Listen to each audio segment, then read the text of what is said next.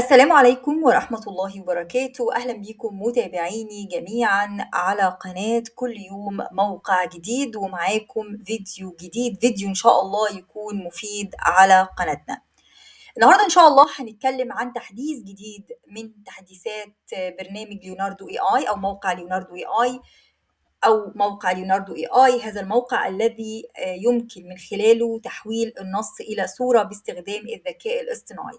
النهارده هنتكلم عن إزاي ممكن نحول السكتش لصورة مش بس لصورة لصورة حسب تصورك. يعني أنت مش شرط تكون بتعرف ترسم أصلا. أنت بس هتديله أنت عايز إيه بالظبط أو الفكرة إيه من خلال الرسمة وهتقول عايز إيه بالظبط بالنسبة للرسمة دي. هنشوف مع بعض الموضوع ده بشكل بسيط جدا ومن غير أي تعقيد. في خطوات بسيطة. كونوا معانا. هنرجع لكم مرة تانية.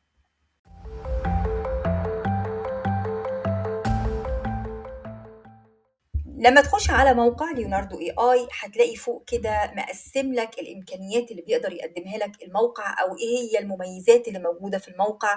أهمها طبعا ال image generation اللي هو توليد الصورة بالذكاء الاصطناعي من خلال النص بموديل مختلفة وأشكال مختلفة أو styles مختلفة. تاني حاجة وده الجديد اللي هنتكلم عنه النهارده ال Live Canvas تقدر إنك أنت تسكتش أي حاجة أنت متخ... يعني أنت عايز تعملها سكتش يعني مش شرط تكون محترف. انت هنشوف مع بعض دلوقتي الموضوع ده هيتعمل بشكل بسيط جدا وممكن انك انت تحول هذا التصميم للي انت عايزه. تالت حاجة Canvas Editor وده استخدمناه من قبل كده نعمل edit على ال images وشفنا إزاي ممكن ان إحنا نعمل يعني نبني أو على كانفاس كذا ممكن كذا صورة نستخدمها لبناء مثلا شكل معين أو انت بتعمل story فعايز تعمل صورة كذا صورة عايز تحطها في صورة واحدة. ممكن تستخدم ال Canvas Editor وفي ال motion وده إحنا مستنيينه بفارغ الصبر coming soon اللي هو ال generative video وده اللي إن شاء الله بإذن الله يعني إحنا feature مش عايزين نتكلم عنها دلوقتي إلا لما تنزل بإذن الله. هبتدي النهارده نتكلم عن الحاجة اللي إحنا جايين نتكلم عنها وهي ال Live Canvas تعالوا كده نشوف مع بعض ال Live Canvas ممكن يدينا إيه. هنا هتبتدي في الجزء ده ترسم الحاجة اللي أنت عايزها. يعني تخيل أنت عايز إيه بالظبط. أنا هفترض إن أنا ما بعرفش أرسم خالص. فهنا هبتدي أبتدي إن أنا يعني أبسط حاجة الواحد ممكن يرسمها وردة. أدي أهو وردة بالمنظر ده كده. ويعني إيه أنا يعني فاشلة جدا في الرسم. أهو. أدي الشكل أهو بالمنظر ده. وهاجي هنا أقول له أنا عايزة إيه. يعني عايزة إيه من الرسمة دي؟ هنا ده ال generative strength ممكن إيه أقلله شوية؟ ده ال generative strength ممكن أخليه ال creativity بتاعته بالمنظر ده. هنا هقول له a single red flower. واخد بالك؟ وأنت بتكتب هو بيتخيل أنت بتكتب إيه وبيديك preview ليه. In a silver vase حطها لي في silver vase. حطها لي في silver vase. On a table. بالمنظر ده. فهنا هو عطاني a single red flower in a silver vase on a table أو on the table بالشكل ده. ممكن أقلل ال creativity شوية. وممكن أزود ال creativity شوية. وهنا ممكن أختار أختار ال style نفسه يبقى فوتوغرافي آه ممكن أخليه painting ممكن أخليه fantasy art ممكن أخليه dynamic فهنا أنا المتحكم في ال style الخاص بالصورة بتاعتي. وهبتدي إن أنا كمان ممكن أعمل creative refine هنا بيديني صورة بيظبطها لي بقى يعني بيبرز لي الحواف كمان بتاعتها وبيظبط لي التفاصيل اللي موجودة فيها.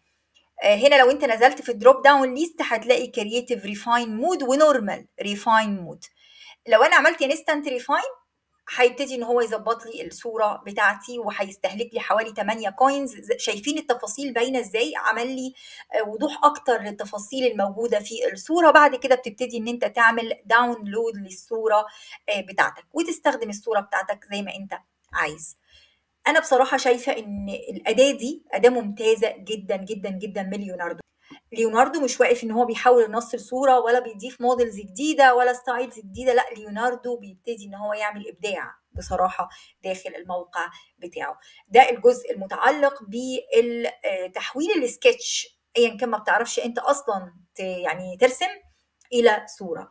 وفي بقى كمان هنا شوية edit tools موجودة. في add image نوع من أنواع ال inspiration يعني بتديك كده يعني وحي كده للي بتقول له أنا عايز حاجة شبه كده. وهنا عندي ال erase كمان نقدر إن إحنا ن erase لو إحنا عايزين نعمل erase لحاجة معينة ممكن أنت ت erase ترجع ت erase آه فهينعكس شوية على الصورة ثانية وترجع للصورة الأصلية بتاعتك. في عندك كمان الجزء المتعلق ب select دي شوية edit tools يعني ممكن إنك أنت تستخدمها. وفي الآخر خالص ممكن ت clear ال canvas خالص وتمسحه. okay؟ تعال نجرب حاجة تانية مثلا. أنا هنا هجرب أبتدي إن أنا أرسم. هرسم هنا مثلا أهو. يعني كأني أنا هنا برسم قطة. يعني أنا أصلا مش عارفة أنا بعمل إيه. أنتوا متخيلين؟ ما بعرفش أرسم خالص. يعني أنا مش قادرة أرسم حاجة. هنا ممكن أقول له أقول له a white a white cat is playing at the garden. وهنا ممكن إن أنا أغير ال أخليها cinematic أخليها انمي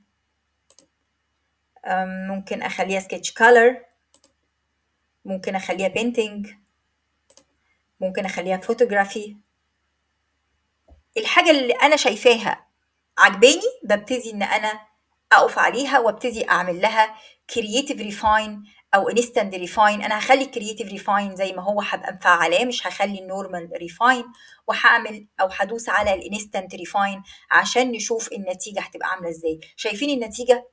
دقيقة أكتر العين باينة أكتر المناخير باينة أكتر الفم باين أكتر بتاع القطة.